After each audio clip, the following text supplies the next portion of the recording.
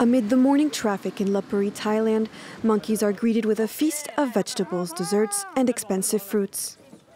This is Thailand's 34th year celebrating the Monkey Festival, an annual tradition which is held to show gratitude to the animals for attracting local and foreign tourists to one of the country's oldest cities. Previously, there were around 300 monkeys in Lopburi, before increasing to nearly 4,000 now. But Lopburi is known as a monkey city, which means that monkeys and people can live in harmony. It is the only province where they can live together. But monkeys might disturb them sometimes. It's their nature. They're a bit naughty. The monkeys running to and fro, climbing tourists and lampposts, are an appreciated symbol of the region. Tourists approach them with excitement, curiosity, and with caution.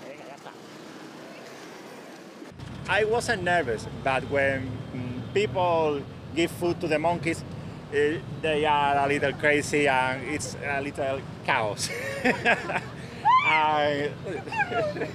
they fight between them. Um, we have to take to take care. This year, the festival's theme is Monkeys Feeding Monkeys.